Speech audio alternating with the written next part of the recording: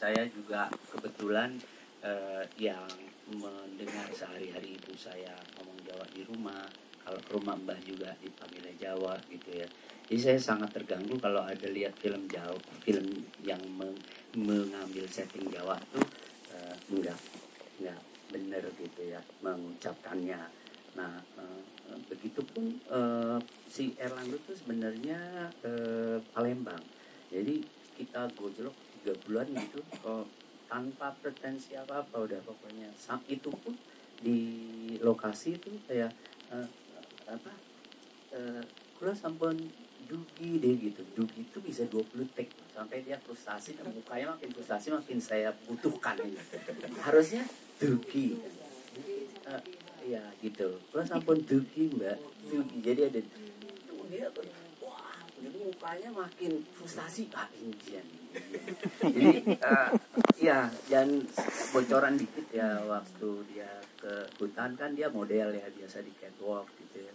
Eh, waktu dia sampai lokasi eh, hari pertama hari kedua ke sawah ke bebek kerjaannya foto.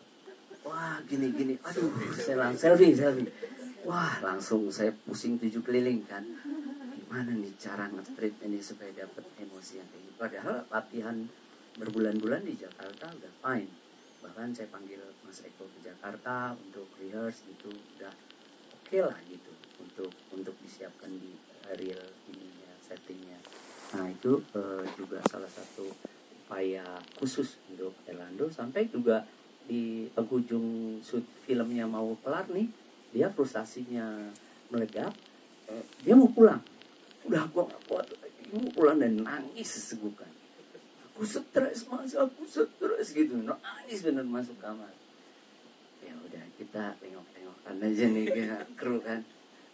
Waduh terus kru udah mas Ari aja yang main mas Ari. Gundul. Gila nih ulang dari awal nih. Tapi ya udah eh, ini tinggal bagaimana kan approaching direct seorang director gitu ke pemainnya gitu. Dengan karakter masing-masing karakter berbeda pendekatan di sana. Dan karena di sini benar-benar saya ngeluarin eh, jiwanya mereka satu-satu terus saya bentuk itu jadi saya nggak bisa kayak kue pancong ngeplak ngeplak gitu kayak film-film pop gitu kan. Udah nggak bisa udah deh udah tiruin aja begini pokoknya gitu gitu kan. Kadang-kadang udah dikejar-kejar waktu. Ini enggak ini benar-benar yang harus eh, ya eh, kesabaran kesabaran di situ pendek- pendekatan. Nah seluruh casting saya mau nemu menemukan itu eh, sebulan sebelum hari H. Yang abis itu saya pas sebulan udah nggak jadi syuting deh. Karena udah nggak selama dua tahun ya ketemu.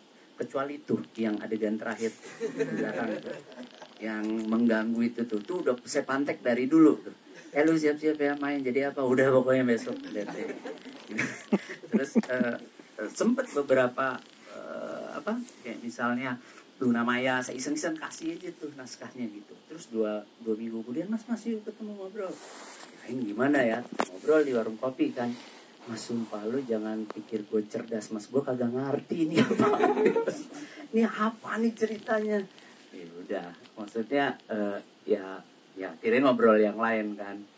Eh, gue tuh selera gue Korea mas kata dia kata si Luna jadi lu jangan lu anggap gue cerdas. Enggak lo cerdas cuman emang enggak. Ini aja ntar kapan-kapan deh gitu. Terus eh, itu masih mending ketemu gitu.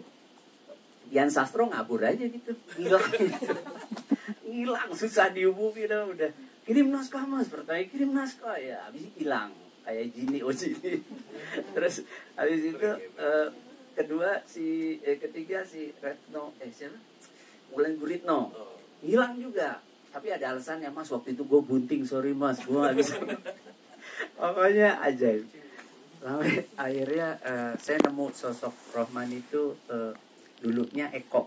Eko Eko pemainnya Teguh Karya dia tinggalnya di Swedia sekarang Eko Noah gitu ya. Eh, udah dia cocok nih gitu. Nggak dilalahnya pada saat hari syuting dia nggak bisa ninggalin eh, Swedia gitu ya.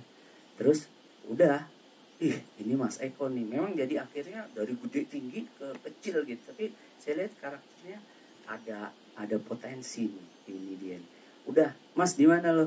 Jerman gue lagi nari. Ini ya udah baca email. Wah iki aku banget iki nang kali angker iki. Aku kowe ini wah gitu-gitu loh. Jam 2 malam aku merinding iki mas bocor gitu-gitu. Wah ini dia nih. Tapi kan saya mesti mem, mem, mem, mem make sure kan lagi